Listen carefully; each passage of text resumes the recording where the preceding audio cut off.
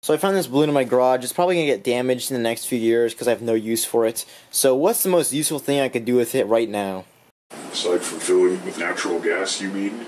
That's exactly what I mean. Let's do that. Alright, so here we've got our balloon, and here we've got our unnamed gas source. This is nat I mean methane, and we put it in the balloon, and we're going to fill the balloon. There we go, it's filling. Alright, so when I said this balloon was old, I didn't know exactly how old, but you can see there's stresses all over the balloon, and there's no way it's a good idea to fill this full capacity and then put fire anywhere near it. So we're just to blow this up how it is, and then we'll do a second balloon, and that'll be a finale. Let's go test this thing out. I'm to tie it real quick.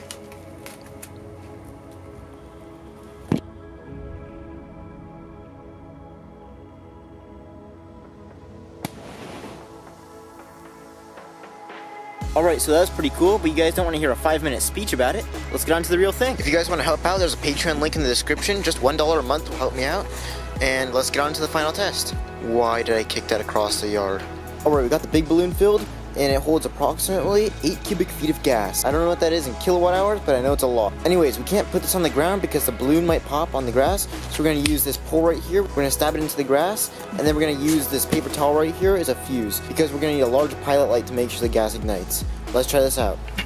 This only looks super small because the camera was about 150 feet away. This is actually about a 15 foot fireball. It's on the ground.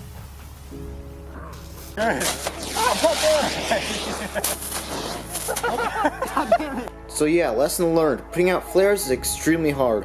It might have something to do with this flare being from 1974, but we won't talk about that. Honestly, the fireball from that balloon was not even that big, and I actually had more fun trying to put out this flare than anything else. I hope you guys liked it, and I see you guys next time. Oh shit, I missed the camera. I gotta redo that.